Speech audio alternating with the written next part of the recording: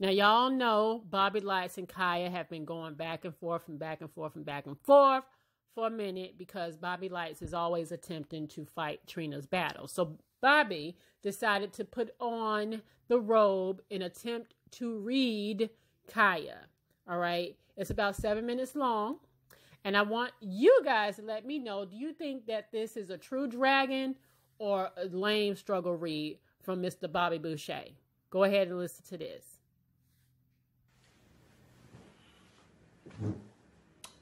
Today on the docket, we have Khia, aka Miss Florida Gator Swamp Monster. We the people summon you to a reality check and fact sheet. Khia, in fact, is not a Florida native, and unless you are one of her miserable diehard fans, you wouldn't know that she was in fact born in Philly. Unfortunately, she had an experience, a rough upbringing, as her mammy was an infamous prostitute. It got so rough for Thug Mrs. at times, she would experience a lot of her mammy's dates. While she was in the front seat, her mammy would be in the back seat performing sexual acts. And poor Khia was subject to all of it. Speaking of poor, during her time in Philly, her and her mammy were homeless. Ain't nothing wrong with that, but eventually an olive branch was extended by a lovely woman by the name of Mrs. Donna and her family back in Tampa. Mm-hmm. Khia and her mammy moved to Tampa with Mrs. Donna and her family. Sadly, a short period after they moved to Tampa, Khia's mother passes from an unknown disease. No wonder the swamp monster has no respect for those that have passed on. Aside from Mrs. Donna taking them in and making sure they weren't homeless anymore, she then also plans and pays for her mammy's funeral arrangements. Now here we have a young thug, Mrs. No Mammy or no guidance, so of course she follows in her mammy's footsteps, and according to close sources, began having sex at the age of 12 with many, many men. According to Mrs. Donna, who also claims that Khia turned on her and her family, even though they were the reason she had a home and the funeral was paid for. This may be able to explain how far back Khia's evil and sadistic spirit has been established. Now, although Khia wasn't a victim of sex trafficking, she sure was considered a young prostitute hoe. Tuh. I spoke with another reliable source that was able to confirm that, in fact, at a young age, Miss Khia had multiple niggas running trains on her in the Jackson Heights area, which would then prepare her for her new lifestyle entitled as whore. Now, apparently, her slutty lifestyle is what led her to open up a car wash on Lake Avenue called Hoshine. Yes, she was the one behind the car wash called Hoshine. Like majority of everything this woman does, this car wash soon becomes a flop and got shut the fuck down. Now, as she began her struggling music career, all of her whorish manners would soon translate to all of her low quality and ratchet cover arts, as some of you may know. Years later, this is where the story takes a turn and gets quite interesting because Khia claims her child is from a man named Billy Finch, when in actuality it's from his brother Papa Love. Mm-hmm. To ensure her daughter would follow in her whorish ways, she named her daughter right after her. Now, what's absolutely horrifying about this entire thing is that Papa Love was a well-known rapist and child molester. He was very well known for raping his nieces and young girls.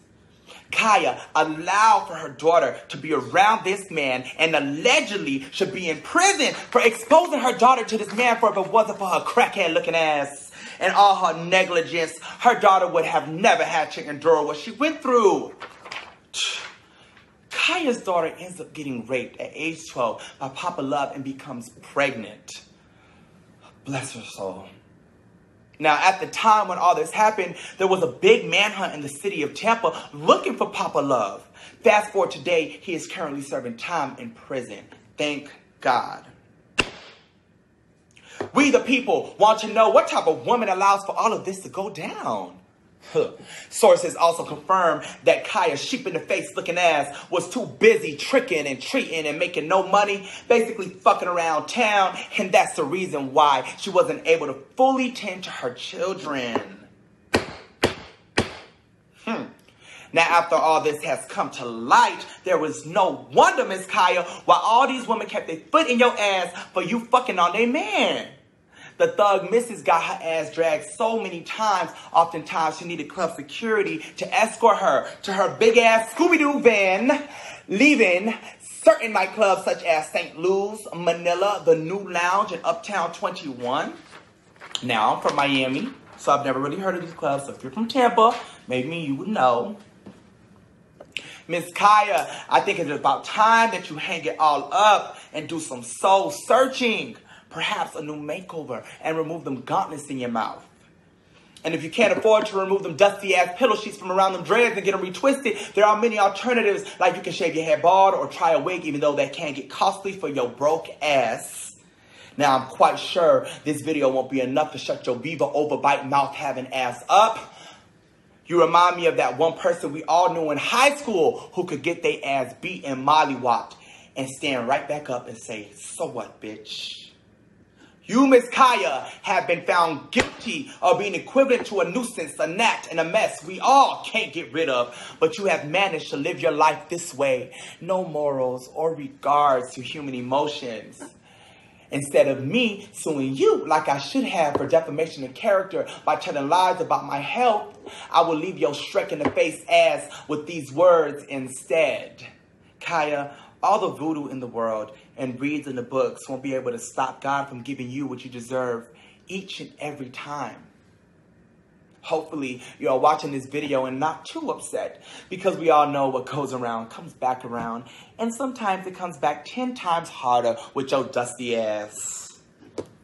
Furthermore, we the people sentenced your pigment nostril having ass to life in hell with not one cup of water any video or message your delusional ass making fun of them termite infested wood panels will be politely disregarded and ignored. But today, I have laid you to rest using your own life story and facts. I had no need to tell a lie and fabricate anything that I have said today, unlike you, who thrives off of personal opinions and lies.